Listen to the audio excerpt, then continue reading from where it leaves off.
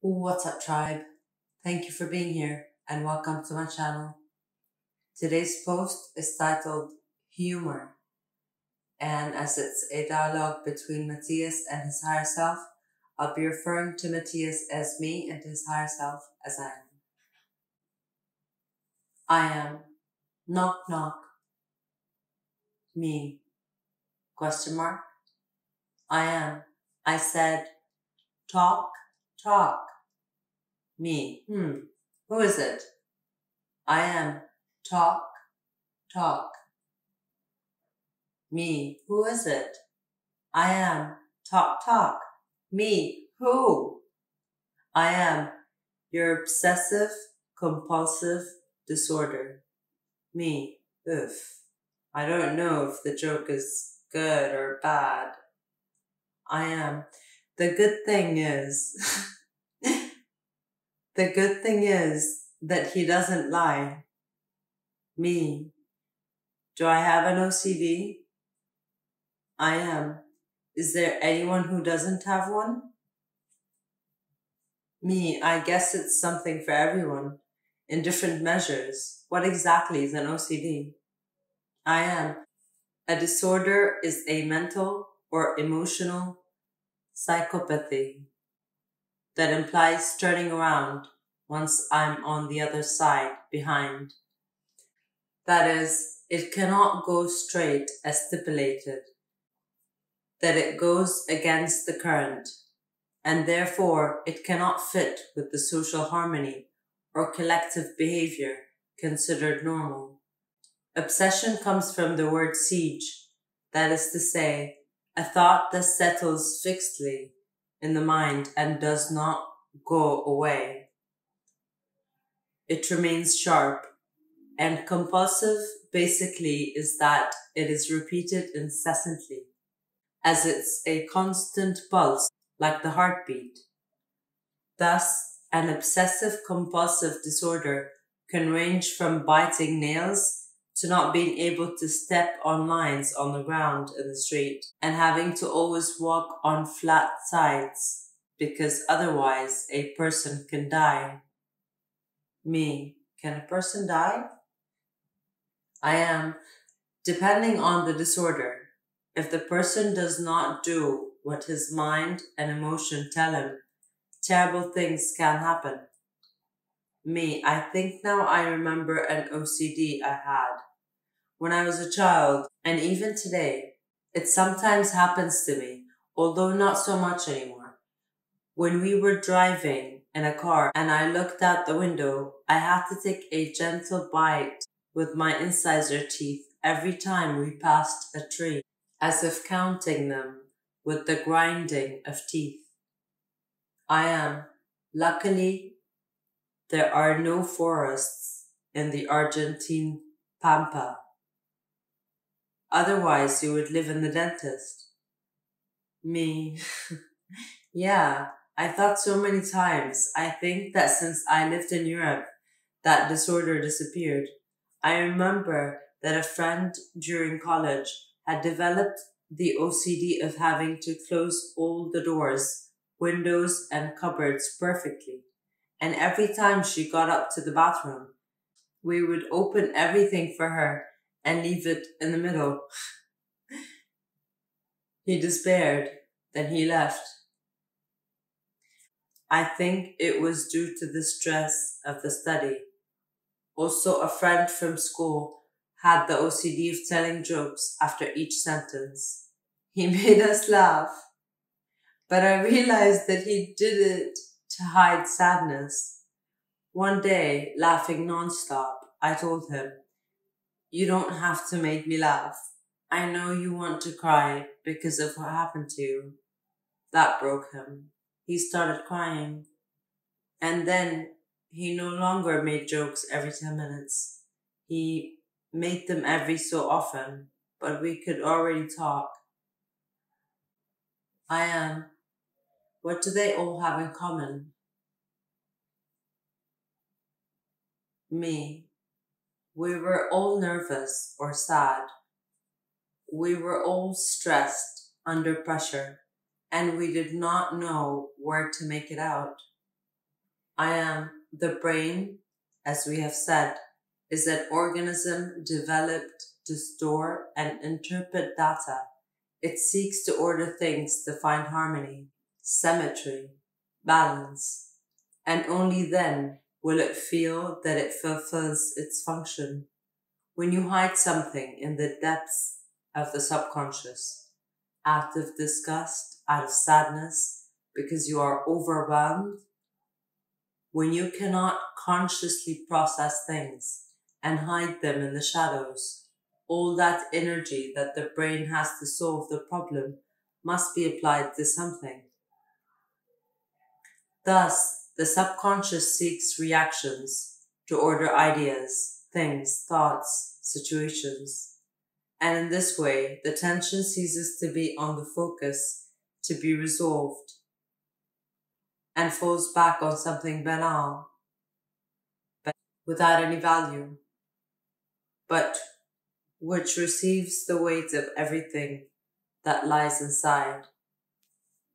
What did you feel when you counted trees with your teeth? Me, that I connected them. I felt that if I didn't do it in any of them, there were things that were loose, like holes in a fabric. I was desperate to think that they were not all connected to that invisible network. I am the pressure you felt as a child with what your guides, teachers, and memories transmitted to you about the reconnection of the network, the responsibility of making thousands of people listen to you, having to show yourself to the world, the questions of how you would achieve it, how to face the shame that the public gave you, manage to go all those parts of the world that seem so far away. How? To all of it, a 12 year old could not handle so much responsibility. So your brain quieted it by counting and connecting trees with the teeth that you would use to speak and show yourself to the world. So your brain quieted it by counting and connecting trees with the teeth that you would use to speak and show yourself to the world. Me, I've never seen it like this. Now it makes a lot of sense. So it was myself trying to protect myself from pressure, from stress. I am. What your mind does is protect itself by creating a parallel reality in which to put all the focus. Remember, your body only cares about living and surviving. It does not care about your spiritual search or transcendence of being because it was designed to protect itself from threats and to keep you alive as long as possible. And sometimes it must even protect itself from the truth. Will understand that they have been useful to stay alive and therefore will find comfort and security in lies, making the truth a threat that can bring chaos destruction, discomfort. Thus, the brain, the emotion, prefer to deny that reality and create a fiction, a lateral reality, whereby tension is released. Me. Wow. It's awesome. I am all religion, culture, scientific thought, spirituality, philosophy, ideology, are parallel realities created to cling to a sense of security based on more digestible lies. Me, but you just put science, a factual and objective study, in the same bag as religion. How's that? I am.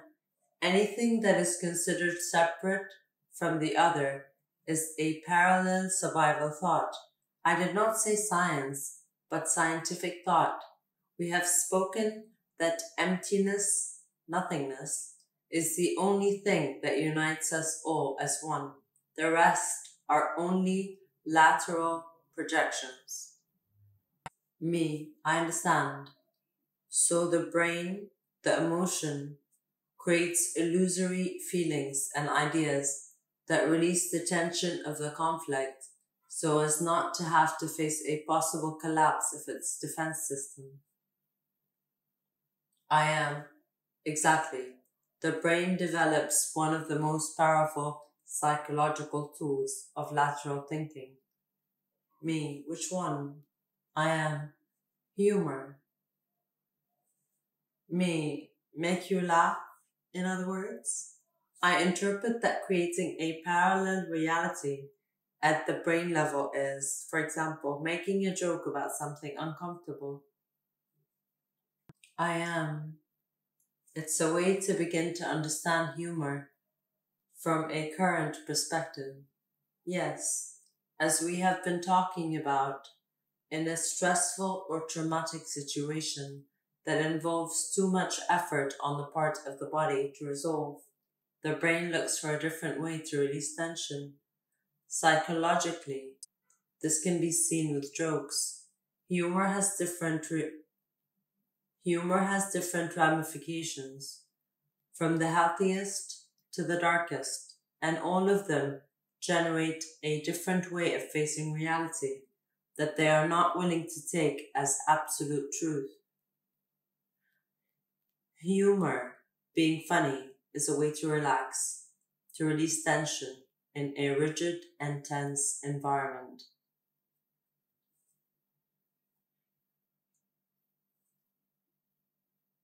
Me, like when a talk with a lot of information and tension about a topic to be discussed. The speaker makes a joke and the tension relaxes, making the information flow easier. I am Humor creates a fictional reality that releases pressure from bodies and minds. The cultures that have suffered the most, those that have been the most deceived, those that have gone through the most conflicts, have developed a greater degree of humor than the most decisive people in their average population. Since it helps them to release constant tension by creating parallel realities, making them feel more comfortable in chaotic environments. For this reason, the Mediterranean, Caribbean, African, and Latin areas of the Americas tend to have a population with higher degree of humor, while the people most linked to the land in a sedentary way, such as indigenous people, Asians, or the cold order of the harsh winters of the northern countries, the mood is harsher and more closed, without going through so much the entire population. Me. This explains why in painful or uncomfortable situations, many tend to seek humor to get out of tension, and also why great humorists are usually people who suffer are usually people who have suffered a lot. I am Humor is an escape route from a brain and soul in constant tension. Me. But what about the humor they call black or dark? I mean, there are many types of humor laughing at others, laughing at situations, laughing at oneself, laughing at tragedies, and many times humor generates more problems than it solves, creating more tension. Something hotly debated today is the limits of humor. Is there a limit to humor? I am. No, the limit is established by morality, and morality is related to a social and community agreement. Humor is inherent to the human and cannot be prohibited by ideological law. Now, what happens today the reason for debating the limits of humor is due to the large numbers is due to, is due to the large number of conflicts. The problems and tensions have ceased to be local for 10 years and have all become global. You could tell me that global conflicts affect us all since colonialism and the 15th century But the truth is that until the free circulation of the internet on personal mobile devices, there was really no real globalization. Today, the collective problems are not just a possible war, but what Juanita told Pepito about his hair, and everyone can comment on Twitter and make a conflict that affects millions of people. Overexposure to conflicts of all kinds makes the use of humor more exasperated. If before a conflict generated three jokes, today it has a million conflicts generating three million jokes. All of those parallel realities will reflect the way everyone's psyche is trying to defend itself. Me. Oh, what chaos in something that seemed as simple as making people laugh. What is humor then?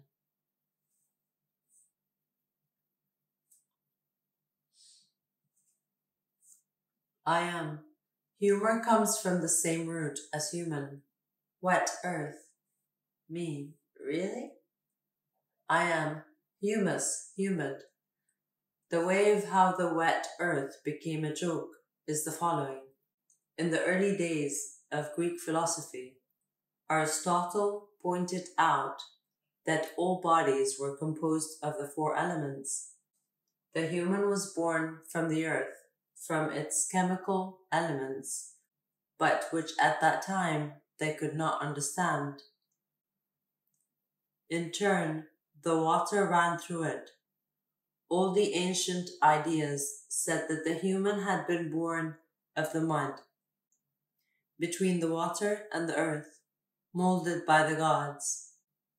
They had been given the fire that allowed the beat of their heart, the soul, and their spirit in the air, the breathing. But later, the students of the human body taking into account that the human was born from clay, divided the inner world of the body of man and woman into four different muds that they called hemos, liquids. The Romans, they took this Greek idea and they kept it, calling these four liquids as wetlands, humidity, differentiated as blood, yellow bile, black bile, and phlegm. These were known as the four humors that make up the human, but later, in the expansion of the empire, the Dr. Galen affirmed the existence of a fifth humor, the quintessence, which he called pneuma, breathe, which gave rise to the concept attributed to the lung organ, thus respiration, from the Latin spirar, gave rise to the word spiritus, that is to say, the one who breathes the breath. Thus, the fifth humor would become an attribute of the soul, which in Greek you know as psyche, the origin of everything that today you call psychological. For this reason, humor became part of an attribute of the soul, when in reality, its origin comes from the dark water inside the body, and they maintained it, calling it these four liquids. Me. That is why you associate humor with Scorpio. I am. Exactly the deep waters of your body, which contain the essence of your life, which do everything to keep you alive. They are the ones that awaken the mood of your soul. Humor, then, is an attribute of survival, which you have to turn into a tool of consciousness. The quintessence of your soul is to take the poison and turn it into medicine. Me, this is how healthy laughter? I am. From being an escape route to protect yourself, humor can save lives by freeing them from stress.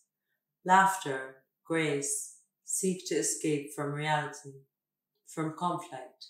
And the more you run from conflict, laughter, humor will become a poison that will generate even more tension and conflicts in a world like today. But when you're faced with conflict, you recognize that humor is key to organic healing as well as spiritual liberation. Me, human laugh, they told us on 11 11 2011. At the encounter of souls, the beings who spoke through me repeated it several times. Human laugh. Now, or I understand today, today 101 of the alignment, the same code that those being used that magical day, 1111, the Eric's code, which is 101, and its teachers telling us, laugh, laugh humans, laugh humans, and you will be free. I am. Having a good mood goes much further than a good joke. Knock knock. Me. Who is it? I am. I am. Me and the joke. I am. Do you see me with a humorous face? Me. Maybe you could use being a little wet every so often.